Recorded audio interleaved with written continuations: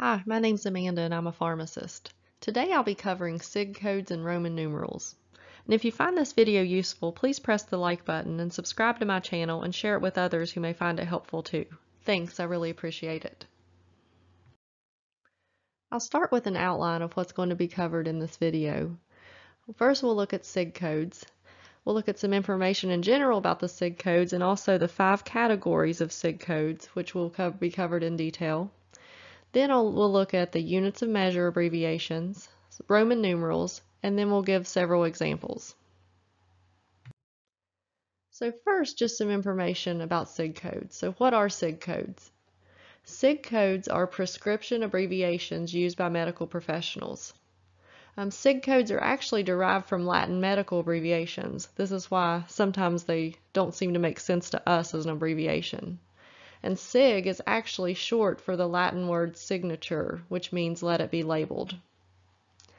So knowing what SIG codes mean is an important skill for data entry of prescription orders. This allows you to communicate to patients in everyday language how to take their medications.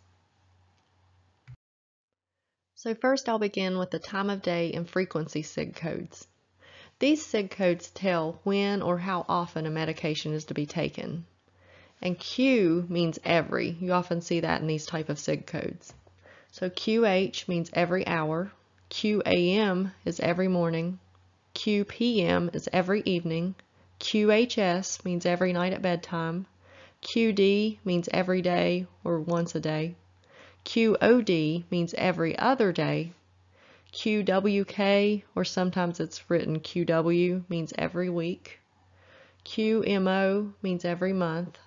Q with a number and a H means every however many hours. For instance, Q6H would mean every six hours.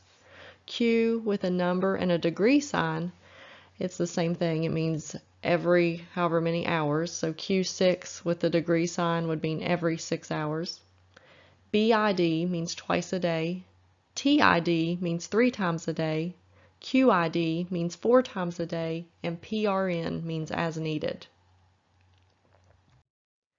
Next are what I call the extra detail SIG codes. Um, these are just SIG codes that give additional information about how a medication is to be taken or administered.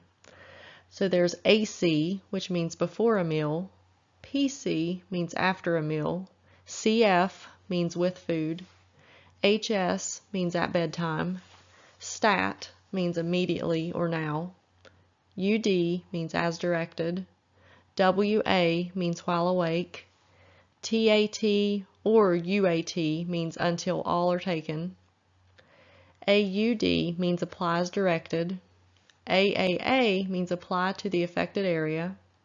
Per means by or through. C means with. S means without. DC means discontinue. TUD means take as directed. And an X with a number and a D means for whatever number days. So X7D would mean for seven days. Next are routes of administration SIG codes. And we did cover these in our routes of administration video, which um, you can look at that on my uh, with my other videos. But these SIG codes basically give information about where a medication is to be administered or taken. So PO is by mouth. SL means under the tongue, stands for sublingual. IV means into a vein, that's intravenously. IM is into a muscle, or intramuscularly. SC or SQ means under the skin, which is subcutaneously. OU means both eyes. OD means the right eye. OS means the left eye. AU is both ears. AD is the right ear. AS is left ear. PV means per vagina or vaginally. PR means per rectum or rectally. ID is into the skin, which is intradermal. TD is onto the skin, which is transdermal. This would be like a patch. And IA is into an artery or intraarterial.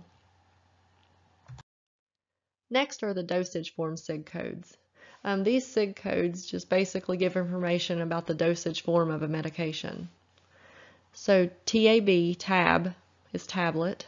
CAP is capsule. CR or CRE is cream.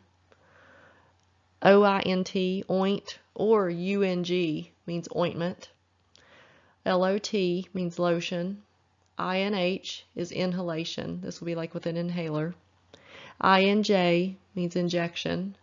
GTT means drop. This will be like for eye drops or ear drops. SYR means syrup. SOL or SOLN means solution. SUPP is suppository. SUSP is suspension. ODT means orally disintegrating tablet. ER is extended release. DR is delayed release. And EC is enteric coated. Those are other ones you may see with a tablet or capsules. Now we'll look at the prescription order SIG codes. These are abbreviations used to indicate details about how a prescription is to be dispensed. So they're not necessarily going to appear in the directions, but they'll be on the prescription. So QS means quantity sufficient. This will be written sometimes instead of a, a specific number, and it basically means just to give the amount needed. DAW means dispense as written. This means to not sub substitute a generic. NR means no refill.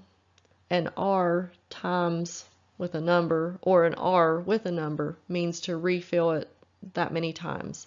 So R times 3 would mean refill three times. Now we'll look at some units of measure abbreviations. Um, TSP means a teaspoonful. TBSP means tablespoonful. ML is milliliter. OZ is ounce. MCG is microgram. MG is milligram.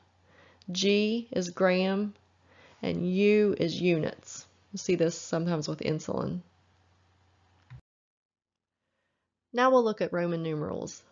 Roman numerals are often used in SIG codes to indicate quantities. So SS means one half. Capital I, or sometimes it's written as a lowercase i, means one. V means five. X means 10. L means 50. C means 100. D means 500. And M means 1000. And you'll usually see on these the lower numbers, so I've given you some more of the lower numbers here as well. Um, II means 2. Three I's, III means 3. IV means 4. V, of course, means 5. VI means 6. VII is 7. And VIII is 8. And IX is 9. Now we'll look at some examples of SIG codes.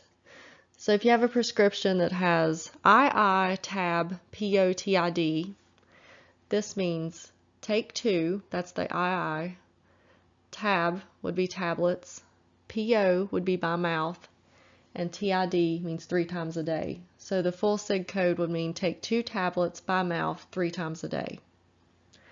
The next one is I, GTT, OD, BID. I would be 1, so it's going to be place 1. GTT is drop, so place 1 drop. OD is the right eye, so place 1 drop into the right eye. And BID would be twice a day. So let's place 1 drop into the right eye twice a day. We'll look at a few more examples. Um, AAA, UD, HS, times 7D. AAA would be applied to the affected area. UD is as directed. HS is at bedtime. And times 7D would be for 7 days. So it would be applied to the affected area as directed at bedtime for 7 days. The next one is I, CAP, Q4H, PRN. I would be 1, so take 1 cap is capsule, so let's take one capsule. Q4H is every four hours, so let's take one capsule every four hours, and PRN is as needed. So let's take one capsule every four hours as needed. Some more examples. I, S-U-P-P, P-R, Q-I-D, P-R-N. I is 1, so it's to be 1. S-U-P-P is suppository, so it's insert one suppository. PR is rectally, so it's insert one suppository rectally. QID is four times a day, and PRN is as needed. So it's one suppository rectally four times a day as needed. The next one is 5U, SQ, QPM, PC. So 5U would be inject 5 units. SQ is subcutaneously, which is under the skin. QPM is every evening, and PC would be after a meal. So it would read inject 5 units under the skin every evening after a meal. And now we'll look at a couple full prescription examples. The example 1, um, our prescription says lisinopril 20 milligram tab, 1 QAM, number 30, R times 3. So this would mean lisinopril 20 milligram tablets. 1 QAM would be take one tablet every morning. B for 30 tablets, that's what number 30 is, and R times 3 means it has three refills. And one more full prescription example. This one says amoxicillin 250 mg per 5 ml suspension, 3 ml TID times 10D, QS, and NR. So this would be dispensing amoxicillin 250 milligram per 5 ml suspension. And the instructions, take 3 milliliters, be 3 ml, 3 times a day, TID, times 10D would be for 10 days. So 3 milliliters by mouth, 3 times a day for 10 days. Dispense the quantity sufficient. That you would have to calculate how much you're going to dispense, and we will have a video on that later on. And no refills would be NR. Thanks for watching. Please like and share this video with others who may find it helpful, and please subscribe to see more of my drug information videos. Thank you.